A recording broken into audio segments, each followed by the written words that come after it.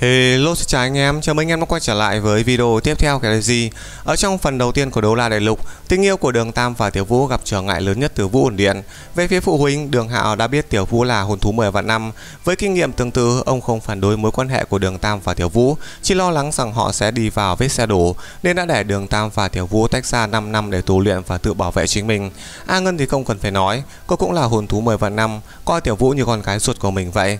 Về phía Tiểu Vũ, mẹ của Tiểu Vũ đã mất từ lâu, gia đình chỉ còn lại Đại Minh và Nhị Minh, họ cũng không ngăn cản Tiểu Vũ tìm kiếm hạnh phúc và bạn bè ở học viện xử lý khác đều chúc phúc cho đôi tình nhân thanh mai trúc mã này. Chỉ có Vu Điện mới vì thân phận hồn thú 10 vạn năm của Tiểu Vũ mà truy sát cô, khiến Tiểu Vũ phải hy sinh. Đây cũng là thử thách lớn nhất cho chuyện tình cảm của Đường Tam và Tiểu Vũ. Khi mà Đường Tam đánh bại đế quốc Vũ Hồn, họ mới có thể ở bên nhau mãi mãi. Tuy nhiên khi mà đến lượt con gái của Đường Tam yêu đương, Đường Tình Duyên trở nên gian nan hơn nhiều. Tình cảm giữa Vũ Hạo và Đường Vũ Đồng chắc trở, một phần vì Vũ Hạo đào hoa, trong tình cảm tuy chân thành thế nhưng không chuyên nhất. Trước là người phụ nữ đầu tiên khiến trái tim của anh rung động quất tử, con sinh con nhờ mượn giống. Sau là Vương Thu Nhi, người cũng có tình cảm với anh và hy sinh vì anh, khiến người khác phải tức giận. Phần khác là vì Đường Tam khảo nghiệm về con rể. Có lẽ Đường Tam đã nghĩ đến việc con gái của mình xuống hạ giới, đã bị một cậu trai không rõ lai lịch cướp đi, không thêm những rắc rối trong tình cảm của Vũ Hào khiến Đường Tam cũng có vẻ khó chịu. Vì vậy, Đường Tam đã đặt ra nhiều thử thách, không chỉ làm Vũ Hào khổ sở mà còn gây khó khăn cho con gái của mình. Đầu tiên là tách rời thần thức của con gái đặt vào đế hoàng thủy thú, dẫn đến mối tình tài bà giữa Vũ Hạo, Vương Đông Nhi và Vương Thu Nhi. Đường Tam đã tách thần thức của con gái mình và đặt vào tam nhãn kim nghê. Tiểu thuyết nguyên ta không nói rõ thế nhưng có thể đoán rằng Đường Tam nhắm vào huyết thống long thần của Vương Thu Nhi, muốn giúp con gái tiến hóa vuông quang minh nữ thần điệp thành quang minh long thần điệp. Kết quả hành động này gây ra rắc rối. Nếu không có thần thức đó, dù tam nhãn kim nghê có thể hóa thành người và biến thành đường vô đồng, cũng không có linh tính như vậy. Trong mối tình tài ba này không ai chiến thắng, Vương Thu Nhi hy sinh, Vương Đông Nhi cũng chịu nhiều đau khổ và chìm vào giấc ngủ. Thử thách thứ hai chính là buộc Vũ Hào phải đi hái tương tư đoạn trường hồng, khiến anh bị thương nặng, con gái thì lo lắng. Vương Thu Nhi hiểu rõ tình cảm của mình. Không lâu sau đại hội Hải Thần Duyên, Vương Đông Nhi đã đưa lá thư mà Đại Minh và Nhị Minh bảo cô chuyển cho Vũ Hào. Vũ Hào lúc này cũng đã mở ra xem, trong thư viết Vương Đông Nhi mắc bệnh hiểm nghèo, cần tương tư đoạn trường hồng cứu mang. Vì vậy Vũ Hạo đã không thông báo cho ai cả, tự mình đi đến băng hỏa lưỡng nghi nhãn hái tương tư đoạn trường hồng. Vương Thu Nhi thấy vậy cũng đi theo. Tại băng hỏa lưỡng nghi nhãn, Vũ Hạo đã bị các tiên thảo làm khó dễ, uống nước từ cực hỏa dương tuyền, bị thương nặng mới hái được tương tư đoạn trường hồng, thế nhưng anh không thể trở về. Khi đó sau khi Tuyết Đế thức tỉnh tu vi 70 vạn năm, tấn công đám hồn thú hệ thực vật ở băng hỏa lưỡng nghi nhãn, khiến chúng sợ hãi mà phải cho Vũ Hạo vượt qua thử thách. Sau đó thì Vũ Học cũng đã tiến tới tảng đá lớn màu đen với thực vật hai bên tách xa như là cảm nhận được sự yên bình từ hắn. Trước mặt của hắn chính là một đóa hoa trắng mỏng manh mang tên tương từ đoạn trường hồng, biểu tượng của tình yêu. Vũ Hào sử dụng tình cảm sâu đậm để cố gắng hòa nhập với đóa hoa này thế nhưng đã thất bại bởi khi Vũ Hào đưa ra một ngụm tinh huyết của mình vào tương từ đoạn trường hồng để hái nó, thế nhưng lại bị băng cực hạn trong cơ thể làm đóng băng, không thể làm được gì cả.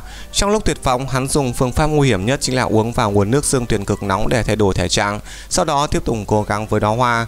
Tuy nhiên quá trình này dẫn đến tổn thương nghiêm trọng cho cơ thể của Vũ Hào. Lục phủ ngũ tạng của Vũ Hào đã bị xương thuyền cực nóng làm cho bị thương, khiến những người xung quanh lo lắng và đau lòng. Vũ Hào sau khi bị thương nặng vì tình yêu đối với Vương Đông Nhi, đã thì máu của mình hòa vào đóa hoa tương tự đoạn trường hồng. Đóa hoa nhỏ phát ra ánh sáng thanh khiết và bay lên, khiến các loại thực vật khác cúi rạp như là thần tử trước quân vương vậy.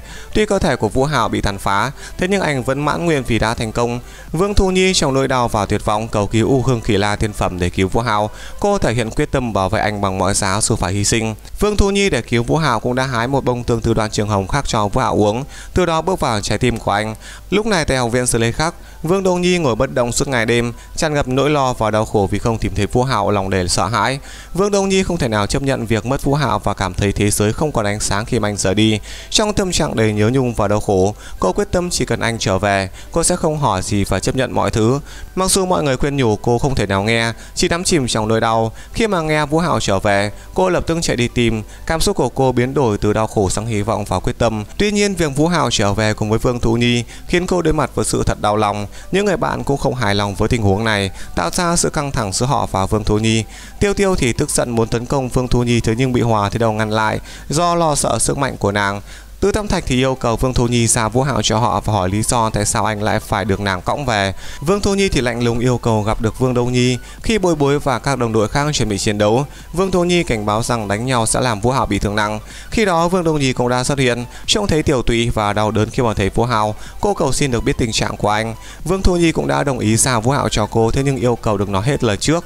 Vương Đông Nhi miễn cưỡng đồng ý, thế nhưng Bối Bối lo ngại rằng tình trạng yếu ớt của Vương Đông Nhi có thể bị ảnh hưởng bởi những lời nói của Vương Thu Nhi. Giang Nam Nam cũng chạy đến và mọi người vây quanh Vương Thu Nhi với ánh mắt địch ý. Vương Thu Nhi yêu cầu được giải thích mọi chuyện trước khi mà giao Vũ Hạo cho họ. Vương thu Nhi yêu cầu mọi người bình tĩnh và cho Vương Thu Nhi cơ hội nói rõ. Vương Thu Nhi tiết lộ rằng Vũ Hạo đã gặp nguy hiểm nhiều lần trong 10 ngày qua để mang về loại thảo dược quý tương tự đoạn trường thảo nhằm cứu Vương Đông Nhi. Các vết thương ở trên tay của Vũ Hạo là do uống cực hạn hỏa dương tuyền để trung hòa cực hạn băng trong cơ thể của mình. Vương Đông Nhi và các đồng đội đều cảm động và rơi nước mắt khi mà biết Vũ Hạo đã hy sinh nhiều như vậy vì cô. Cuối cùng thì Vương Thu Nhi thừa nhận tình cảm sâu đậm của Vũ Hạo dành cho Vương Đông Nhi và nhường lại Vũ Hạo cho cô. Vương Đông Nhi hứa sẽ chăm sóc và yêu thương Vũ Hạo suốt cả đời, dù tình trạng sức khỏe của anh có cải thiện hay không. Chưa hết, Đường Tam còn ở cán khôn vấn tình công dùng Vũ Hạo làm con tin, buộc Vương Đông Nhi hoặc là Vương Tố Nhi phải tự sát, khiến con gái của mình chìm vào giấc ngủ. Từ đó, Vương Đông Nhi không còn tồn tại, chỉ còn lại nữ thần Đường Vũ Đồng. Sau khi vượt qua các ải của càn khôn vấn tình cốc, Đường Tam đã cho Vũ Hạo nghe tất cả tình cảm của Vương Đông Nhi và Vương Thu Nhi. Lúc này thì Đường Tam đã đưa ra cho hai người một lựa chọn, chết để cứu Vũ Hạo. Sau khi ở phía ngoài, Vũ Hạo cũng đã quan sát được ở phía trong không gian ảo đó, cũng nghe được tiếng nói, một trong hai người là Đông Nhi hoặc là Thu Nhi phải chết. Lúc này thì Vũ Hạo cũng đã không chịu nổi vào nhắm mắt lại. Trong khoảng khắc quyết định, hình ảnh tan biến và Vũ Hạo nhìn thấy Vương Thu Nhi ôm Vương Đông Nhi, làm hắn sốc và đau lòng vô cùng. Những người xung quanh đứng im lặng, không biết cách nào để an ủi Vũ Hạo cả. Vương Thu Nhi ôm Vương Đông Nhi, nước mắt rơi xuống, không có một chút thần thái nào cả. Vũ Hạo bỏ tới cố gắng đỡ lấy Vương Đông Nhi, nhưng cô đã không còn sống. Trong mắt của cô vẫn hiện lên sự không đành lòng và quyến luyến. Vương Thu Nhi kể lại ngay khi một giọng nói thông báo rằng Vũ Hạo sẽ sống sót nếu một trong hai cô gái hy sinh. Vương Thu Nhi thì ngơ ngác nhìn Vương Đông Nhi và sau đó với sự quyết tâm, Vương Đông Nhi đã hy sinh mà không do dự để cứu Vũ Hạo. Vương Thu Nhi đã chạy tới ôm lấy Đông Nhi thế nhưng không thể ngăn chặn cái chết của cô. Lúc này thì Đông Nhi chỉ mỉm cười nhìn về phía người yêu của mình, giữ cho mắt của mình mở đến cuối cùng để có thể nhìn anh thêm một chút. Trong mắt của cô chỉ là sự quyến luyến và tình yêu sâu đậm dành cho Vũ Hạo.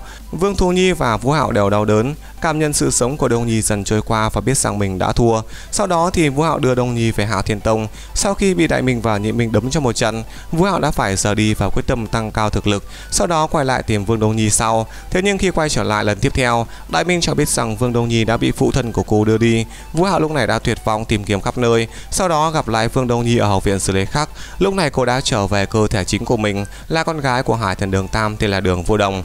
Đường Vô Đồng với ký ức thời thơ ấu cộng với ký ức của Vương Đông Nhi và Vương Thu Nhi hòa trộn với nhau. Vì vậy tổng kết lại, các bạn có nghĩ Đường Tam khảo nghiệm Vũ Hạo như vậy là có quá đáng hay không?